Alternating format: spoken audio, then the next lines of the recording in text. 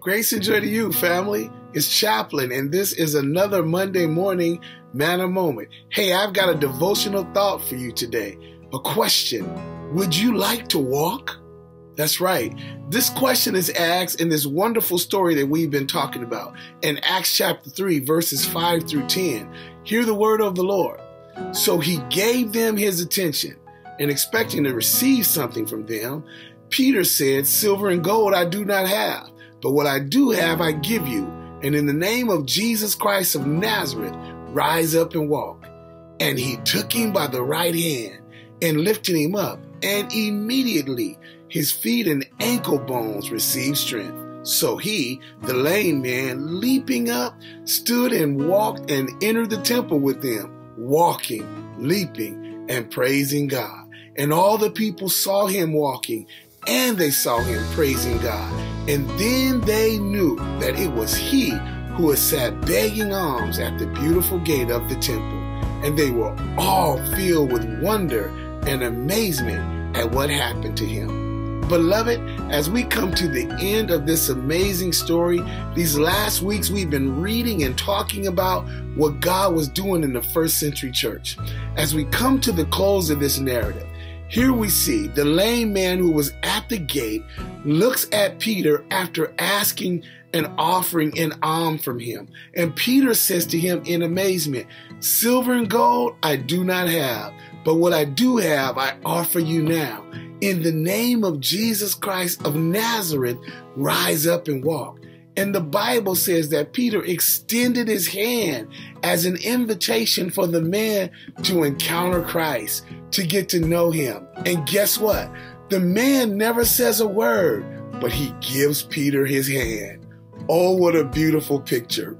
What a beautiful reminder that the world is hungry and hurting and laying on the side of a road of life wounded and lame from birth, separated from a holy God because of sin.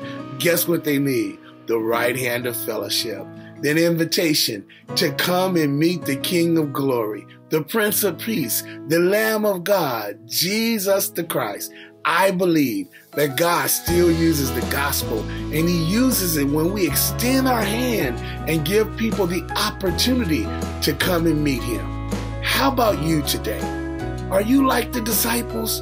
Are you available that God may use you to extend the right hand of grace, the right hand of mercy, the right hand of compassion, and invite somebody to come and meet the Savior? Well, my prayer is yes. I hope it is. And I hope yours is a desire. Like Peter and John, the Bible said that when they did this, a miracle happened. You say, what was the miracle, chap? Well, he jumped to his feet. You see, by faith, he accepted and wanted to meet the one and receive what Peter and John had to offer. And then the text says, and everybody around who knew this man, knew his situation, and saw him at the gate, they rejoiced in the Lord at what all God had done for him.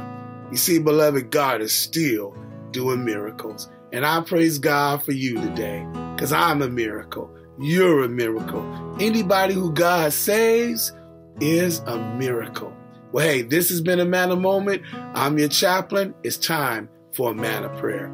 Father God, in the name of Jesus, I pray for our college today that as we work together, love together, do life together, you would continuously give us a heart for those who are wounded and laid on the side roads of life who are in need of a personal, intimate relationship with your Son, Jesus Christ.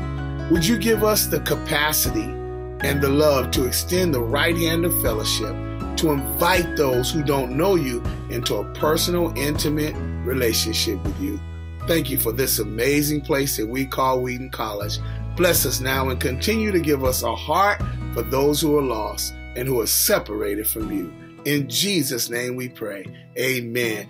God bless you, beloved. May you have a glorious day today. Continue to do what you're doing for the kingdom. Peace.